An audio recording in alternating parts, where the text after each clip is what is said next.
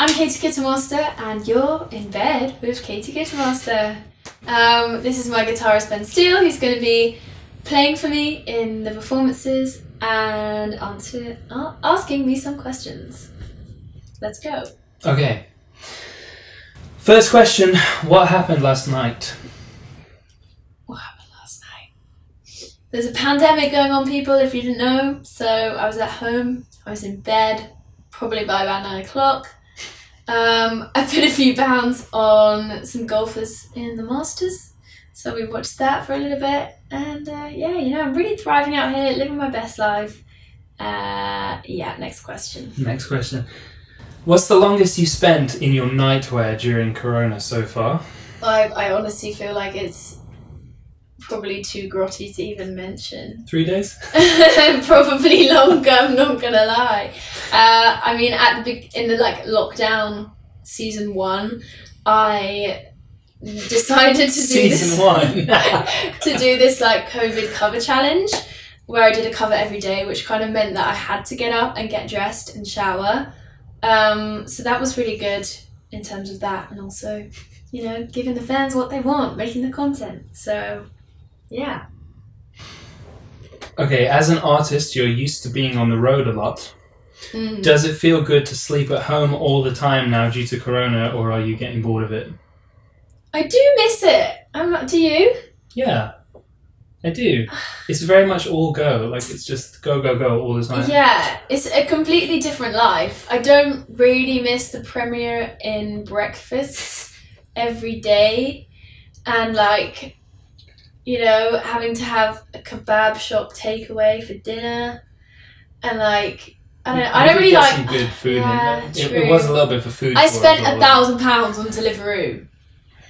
Who does that? Next question. uh, yeah, it's nice to be home. It's nice to be home. I mean, you get a roast dinner and you get your washing done, and you know the dogs and stuff are here. So yeah, I do miss it though. Overall, I think I'm really excited for life to go back to normal.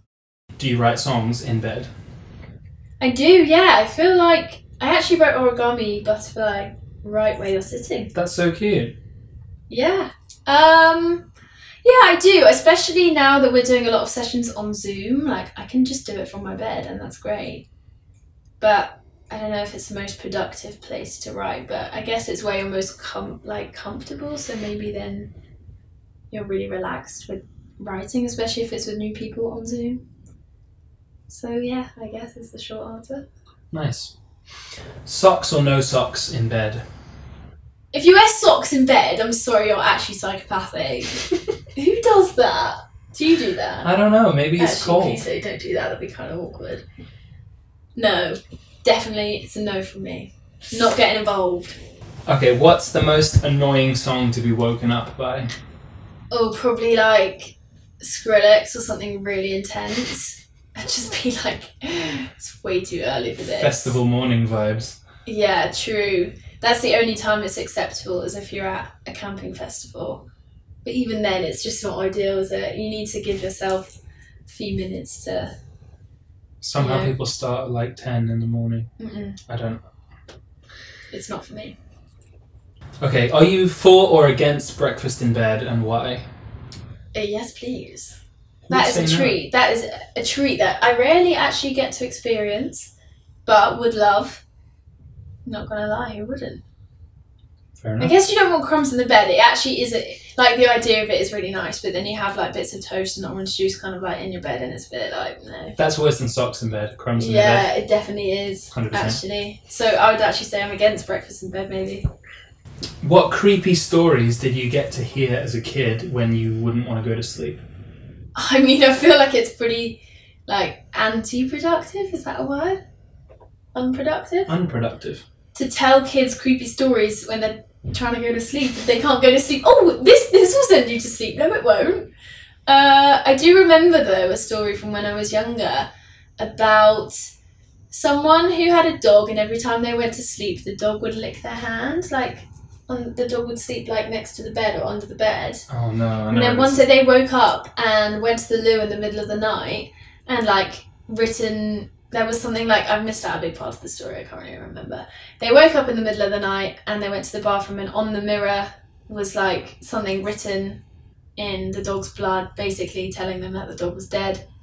Yet someone had licked their hand, and that basically meant the killer was under their bed. I don't know if that makes any sense. I've told, I've, I've actually ruined that story. I'm not gonna sleep tonight. yeah, terrifying stuff. Who would you invite to a sleepover slash pajama party? Ooh, it depends if it's like a an adult sleepover. no, let's say it's like a girly girly sleepover. I think the Kardashians would just be jokes. They just have I don't know, that would just be really fun. Um, have some stories Definitely. to tell. Definitely they'd have some stories. Maybe just some of like the female songwriters that I love, like Maisie Peters, she can come. Holly Humberstone, you're invited. Taylor Swift, you're more than welcome.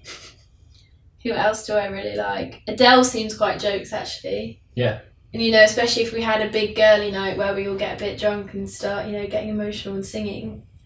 Got all the tunes ready to go. What a collab that would be. Imagine. That would be insane.